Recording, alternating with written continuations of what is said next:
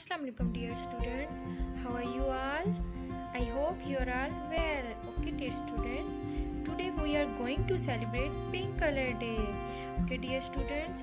As you know, pink is a very cool color and pink color is a mixture of two colors red and white. When we mix them it makes pink color.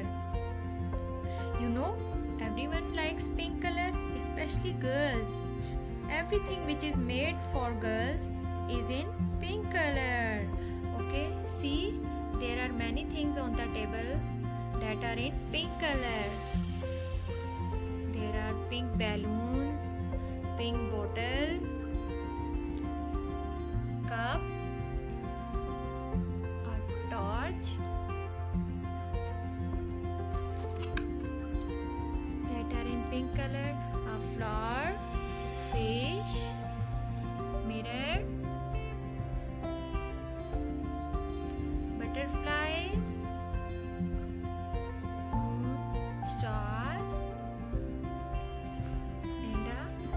a Barbie doll house.